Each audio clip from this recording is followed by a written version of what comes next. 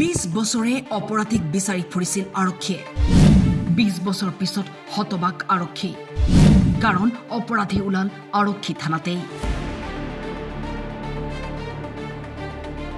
ঘটনা দুই হাজাৰ চাৰি চনৰ নাছিল ফেচবুকৰ প্ৰচলন। মষ্ট ৱান্টেডৰ তালিকাত আছিল এইজন ক্ৰিমিনেল। দুধৰ্ষ অপৰাধীটোৱে এজন লোকক হত্যা কৰি দুটা দশক নিখোজ হৈ আছিল। মষ্ট ৱান্টেডৰ তালিকাত আছিল এইজন ক্ৰিমিনেল দুধৰ্ষ অপৰাধীটোৱে এজন লোকক হত্যা কৰি দুটা দশক নিখোজ হৈ আছিল। অপৰাধী এণ্টনিয়ক বিচাৰি ফুৰিছিল তদন্তকাৰী দলে। কিন্তু বিছটা বছৰে সন্ধান নোহোৱা হৈ পৰিল এণ্টনিয়ৰ। আচৰিত হোৱা কথা যে আৰক্ষীৰ চকুটি ধূলি দি প্ৰায় বিছটা বছৰে অপৰাধীটোৱে আন এটা প্ৰান্তত আৰক্ষী বিষয়া হিচাপে কৰ্মৰত আছিল।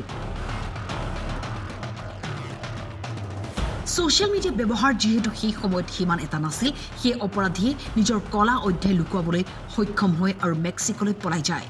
কিন্তু পাপ কৰি যিদৰে লুকুৱাই ৰাখিব নোৱাৰি ঠিক একেদৰে বিছটা বছৰ পিছত এণ্টনিয়াক বিচাৰি উলিয়ালে আৰক্ষীৰ দলে।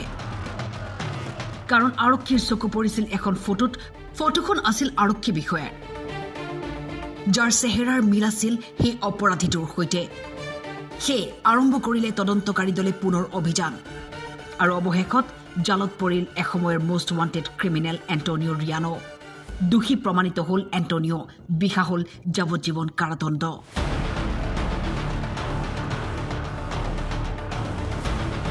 যিজন অপৰাধীক বিছটা বছৰে বিচাৰি ফুৰিছিল আৰক্ষীয়ে সেই অপৰাধী ওলাল আৰক্ষী থানাতেই।